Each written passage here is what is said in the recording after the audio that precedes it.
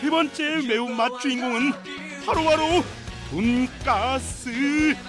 제주의 불타는 맛세 번째 맛집에 도착했습니다. 불타는 맛인데 돈가스?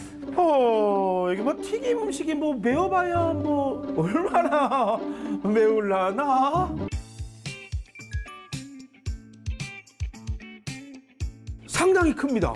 와 보세요 제 얼굴은 상당히 큰 거 아시죠?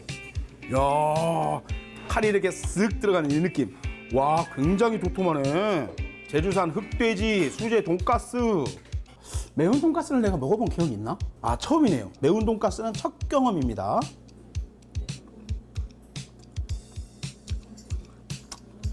아주 훌륭해. 돈가스 아주 아주 훌륭해. 이건 만 원짜리의 돈가스 quality가 아니야.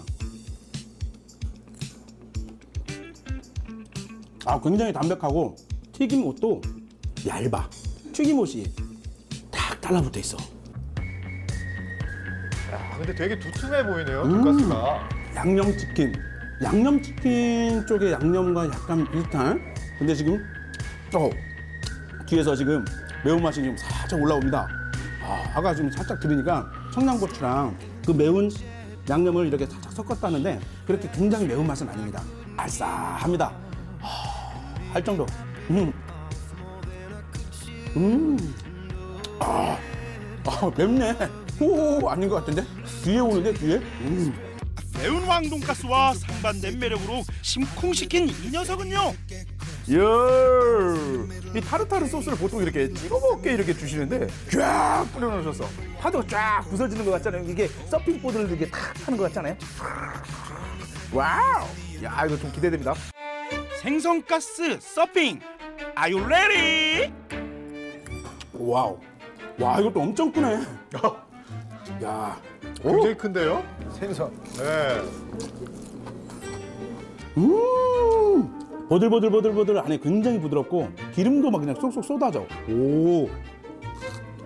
음. 이 돈가스랑 생선가스가 딱 나오자마자 사장님께 부탁드린 게 있어요. 빵을 좀 준비해달라고 했어요. 햄버거처럼 만들어 먹고 싶어가지고 크, 모닝빵을 또 좀 준비해달라고 그랬는데 돈가스를 햄버거 패티로. 그렇지. 가운데 또 탁 잘라가지고 탁 넣어가지고 또 탄생.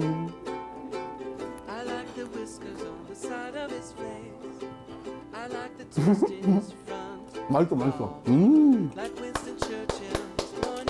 온 가족이 즐기는 매운맛 매운 돈가스는 사랑입니다.